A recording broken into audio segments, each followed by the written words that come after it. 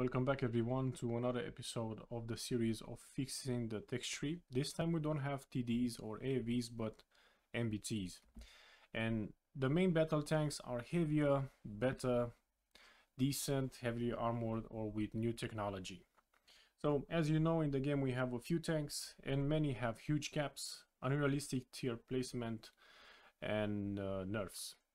Let's start this episode with none other than T-55. This T-55 is a crucial tank because many nations had it in the past and uh, some of them still has them in service nowadays. So from T-55 we go to T-62 and then to T-64A model 1969. From T-64A model 1969 it will split into three main branches. First is towards T-80, second from T-64A model 1969 towards T-64A model 1976 both T80 and T64A model 1979 go towards T80B, which is an important tank in this tech tree. The third branch goes to T72 Victory, a version with a different turret, stock build of T72, like an early version. Now it's good that we clarified this three, at least for now. Um, and link in the bio about my research and uh, the same goes for every tank in this tech tree. Let's get back to T80B. So this uh, T80B goes towards T80U. And here we have important tanks that we don't have in the game. T80U splits into three main branches. And let's start with the first one. The first one is the T80BV. The T80BV is an upgrade version of the T80B which entered in service with the Russian armed forces in 1985. At present, Russia's Ministry of Defense has several thousands of T-80BV tanks mostly in store. Just imagine that.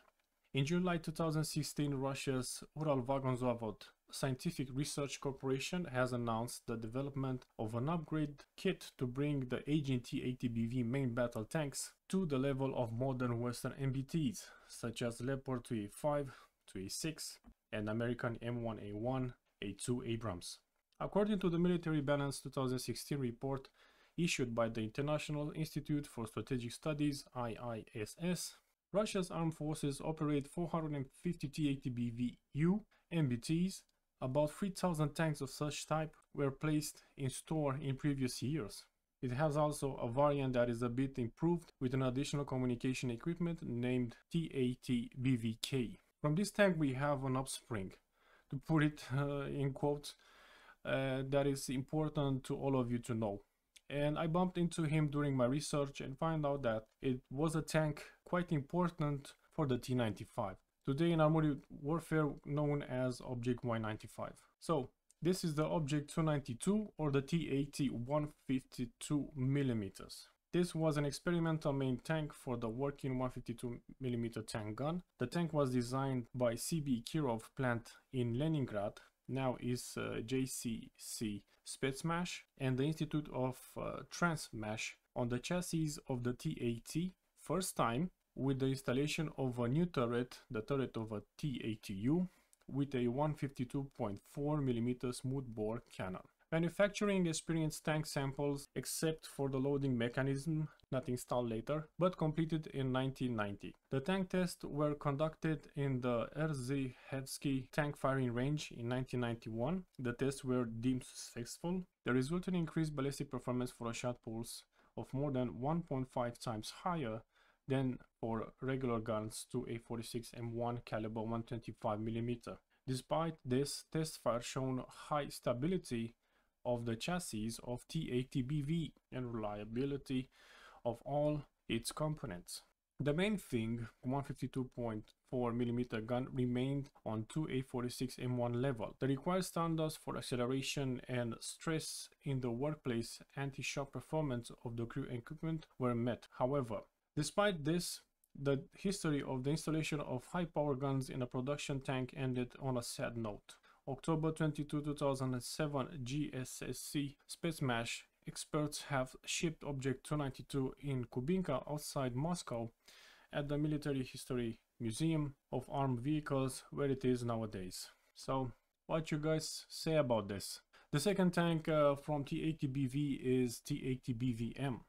The T-80BVM is a modern main battle tank of Russian origin. It is an upgrade version based on an existing Cold War era Soviet T-80BV main battle tank. The T-80BVM represents the first Russian upgrade project for the T-80 series. Older Contact 1 era of the T-80BV has been replaced by the new Relict era. This covers large portions of the skirts, the hull front and the frontal arc of the turret. Relict is not only effective against heat warheads but also increased protection against kinetic projectiles. Main gun, autoloader and APFSDS projectiles are improved. Night vision devices for driver and gunner are improved, but there is no independent commander sight. Fuel economy of the engine is improved, mitigating to a certain degree one of the main drawbacks of the T-80 design. Most notable, the level of protection is improved using a new Relict explosive reactive armor. Some elements of the T-80BV prototypes are missing, but could be added at a later stage. This includes remote weapon system and active and passive protection system. The T-80BVM is armed with a 125mm 2A46M4 smoothbore gun, replacing the older 2A46M1. The 2A46M4 is more accurate and compatible with new Svinets 1 and Svinets 2 APFSDS rounds. The autoloader holds a total of 45 shells including heat, HE frag and 9 M119M reflex anti-tank guided missiles. So it sounds uh, quite nice guys, no? So let's keep on going to tier 10 which is the Object 640 known uh, in the game and in the real life and in my opinion should not be added as a premium tank for several reasons. Like in my opinion T-80 152mm was better as a premium since it has a long lap, like a long gap between uh, a lot of years and different eras of development plus with a decent armor and a very powerful gun. So Object 640 was better as a progressive tank. The second and the third line of tanks starts with T-84, the normal version, and T-84U. Let's start with the T-84 and then with T-84U so you can understand why I did this split. They are a bit different but improved and for export. So T-84 is a Ukrainian main battle tank, a development of the Soviet T-80 main battle tank introduced in the 1976.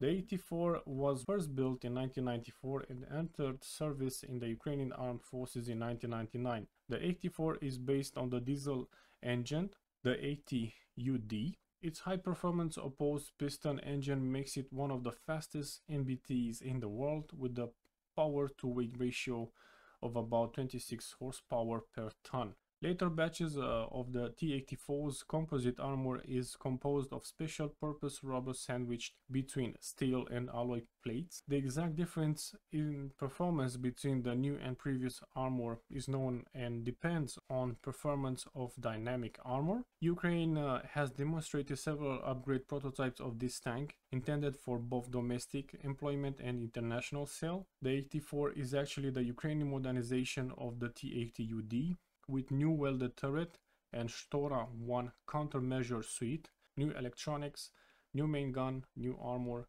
and 1200 horsepower 6TD2 diesel engine.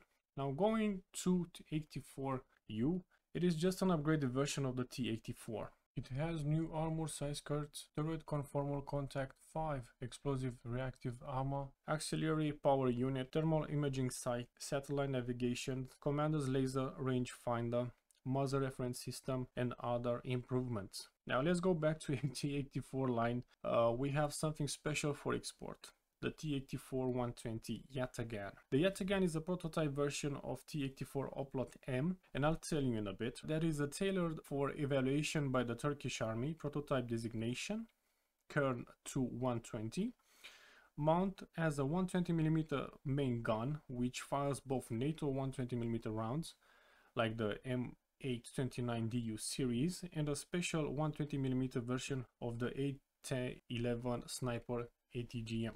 It also has an automated uh, gear shifting in place of a mechanical gear selector, uh, driver's T-bar control replacing tile bars, uh, air conditioning uh, and projectile muzzle velocity sensor as well as differences in the fire control system, communication, etc. and a large of additional equipment can be installed on the tank.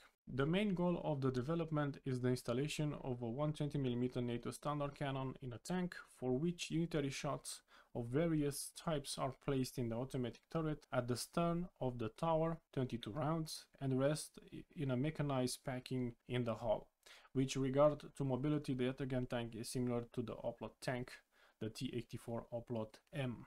Now, the T-84 Oplot M is a T-84U with a new welded turret with separate crew and ammunition compartments with blowout panels and a new bustle mounted autoloader. M stands for modernization of the T-84s, but this is not all. The weight is slightly over 50 tons, a better engine, a 6TD3 diesel than the normal 6TD2 on the T-84, the normal one. Nozh era blocks to protect from newer tandem projectiles warheads Uh, a 125mm main gun with the all-new autoloader system. The tank can shoot also NATO standard projectiles but as well as AT-11 sniper anti-tank guided missiles. So both tanks, T-84 120 Yatagan and T-84 Oplot M goes toward to BM Oplot, the one that we have in the game, and probably with the T at the end, because it's very different than the other ones. Actually, BM Oplot T is an export version for Thailand. It has some minor modifications to meet local requirements, such as a different radio, air conditioner, and so on. Thailand ordered 49 of these main battle tanks. Originally,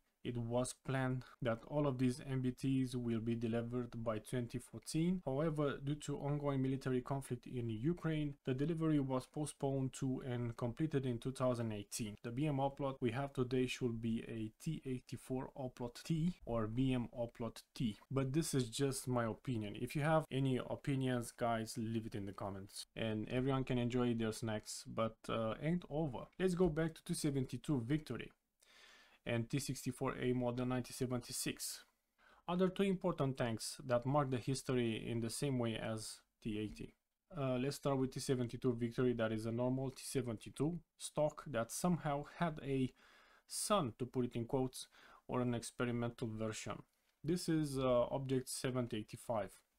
This tank was an experimental tank that was developed in the design bureau of the Chelyabinsk tractor plant it was uh, built on the chassis on the basis of the extended hull of the T-72 tank with an additional tie in the MTO area for a larger engine. A seventh track roller was added on each side. Based on the design of the T-70 tower, a new tower was created with a developed shaft niche and designed for a new automatic loader. A new power unit MTU-2 was installed with an engine with a capacity of 1200 liters per second bench power and a hydromechanical transmission. Two options for the main armament were worked out. The first option was the 2A82 smoothbore gun of increased power the second option was a 130mm rifle gun. The ammunition load was 50 rounds, of which 30 were in the loading mechanism. Additional armament was a remote-controlled anti-aircraft machine gun. Sounds promising and interesting, but uh, could be introduced as a progressive tank as the previous ones? Well, guys, uh, I'm afraid not. Same goes to this tank, but also for T-80-152. It's not so much to read about it, but uh, I found the tank that um, it should deserve to be added in the game since it's a missing link between eras where many prototypes were built and tested. Some saw mass production and some did not, sadly. Now, from T-72 Victory and T-64A model 1976, we have a common tank, the T-72 Ural. From T-72 Victory goes to T-72A, and let's go to T-72 Ural that splits into two tanks that also change the history later on. The first tank is T-72B that is an improved version of the T-72 Ural with a new main gun, stabilizer, sights and fire control, capable of firing 9 M119 Svir guided missiles, additional armor including 20mm of applique armor in front of hull, improved composites, in the turret armor improved 840 horsepower engine. From him we go to T72AV. I will explain why I placed this tank at tier 7. Firstly, is that T-72AV is a modernized version of the Soviet battle tank T-72B. This tank is fitted with new armor, new engine, a new sighting system. The T-72AV has entered service with the Russian Armed Forces in 1985. A version of the T-72AV was also developed in Ukraine and delivered to several countries in the world as Democratic Republic of Congo, Kenya, Sudan, and recently to Nigeria. The purpose of modernization was to enhance its technical and performance characteristics with more firepower. Replacement of the main gun and coaxial machine gun stabilizer, the 2E28M, with a 2E42-2 that has increased the effectiveness of armor-piercing attacks by a factor of 1.3 and shape charge attack by a factor of 1.2. The weapon's laying and stabilization accuracy is enhanced by installing an electric drive based on the EDM60U low inertia motor in the place of the hydraulic traverse drive. And by using the up-to-date components in the elevation and traverse drive control unit. I'm glad that I clarified this. And uh, let's go to the other one that we have as a premium the Object 187 which is an improved version of T72B. Going back to T72AV we bump into T90 which in my opinion is a tier 8 due to many reasons and I will explain why. Also going back to Object 187 we bump to an improved version of it that is T72B3.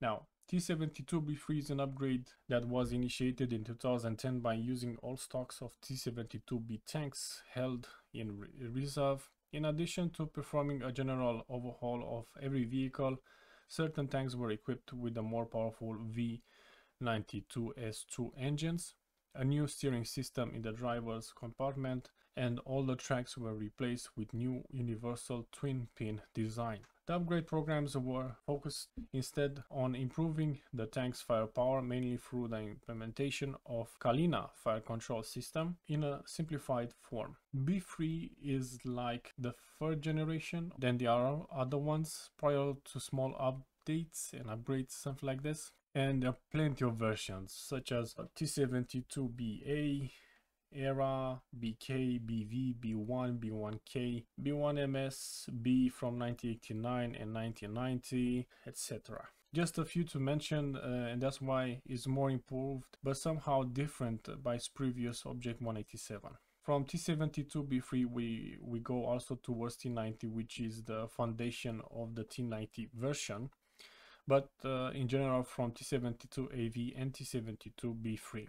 Then it's the T90A, the improved one later on. At tier 10 in my opinion by how the tank it is nowadays and uh, the same caliber as the T14 Armata is the T90MS. This tank should have been a tier 10 and not a tier 9. Some facts. Let's start with the first one. The T90M is the latest version of the T90A the main features includes the modernization of all turret design which is equipped with the new advanced fire control system Kalina with integrated combat information and control systems, improved armor on the ammo carousel and the new upgraded gun 2A46M5 as well as a remote control anti-aircraft gun UDP T05BV1. The new version also includes the Relict era bricks instead of the Contact 5 era bricks, other improvements include a new 1130 horsepower V92 S2F engine, an enhanced environmental control system, and the satellite navigation system. Now, T90S, it is the export version. It was made by Uralvagon Zavod and were updated with a 1000 horsepower engines made by Chelyabinsk tractor plant these tanks carry a leaner version of the Shtora 1 passive active protection system which lacks the infrared dazzler carried on the turret. Combining both T90M and T90S, we have T90MS, basically the export variant of the T90M, Proryv 3 2019 year, plus a bit of technology from T90S. I hope I clarified that for some of you guys to understand why I placed this tank at tier 10. Down the line, back to T72A, we got T72M1 improved version, T72M2 Wilk, and another improved version of T72M1 and T72M4CZ, which is also an upgraded version. Between 2003 2006, 30 tanks were produced. The main armament is a 125mm gun 2A46M. Kinda similar to this gun, no? Like like with the T72AV and T90 and so on, it's like kinda similar. For protection, a new era is called DYNA, meaning Dynamic Armor development in Czech was added along with full NBC protection and a fire detection and suppression system by German company Kidde Deugra. So the tank uh, is like a second to fourth generation upgrade to fight against uh, those at generation 3 and 4 and that's why I place him here. However, bothers me and makes me to close my eyes uh, in this game and that's because of the Burlak.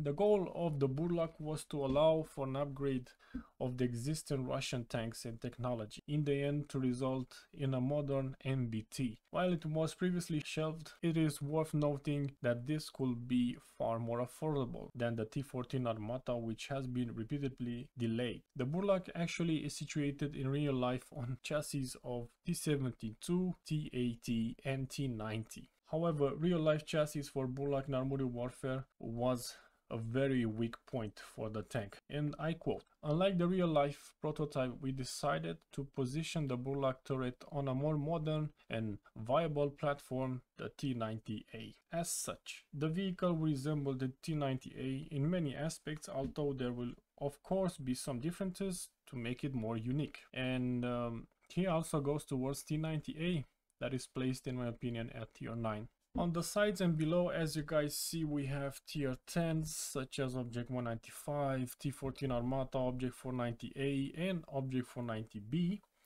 Similar guns but different armor. 490A is more like a decent MBT but in my opinion you'll have to unlock the armor and other things to make it more work properly where 490 is more like a strongly sturdy armor tank looking more like a tank destroyer and obviously uh, other tanks um, at lower tiers such as i7 object 430 object 279 and t55 m1 in, in my opinion some of them should have been premium and some not progressive because of several reasons. Experimental tanks different chassis modified to sustain the recoil of the main guns different upgrades overwhelming weight unpractical use. Some saw mass production and testing impressive but still fail to this day as T14 Armata. Some are like the foundations of others such as Object 195 for T14 Armata. Some have no decent history or very decent information about them. With this being said dudes, I hope you enjoyed this video of this series. This is the Marat Shishkin tech tree.